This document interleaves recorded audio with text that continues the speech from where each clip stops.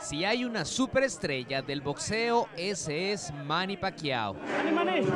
En su regreso a Las Vegas, caminar es casi imposible entre todos quienes le pidieron que no se retirara del cuadrilátero. Extrañaba el boxeo y pensé que aún podía pelear. Así que, ¿por qué no continuar? Por eso ahora, la oportunidad de brillar igual que la leyenda es para el campeón del mundo Jesse Vargas.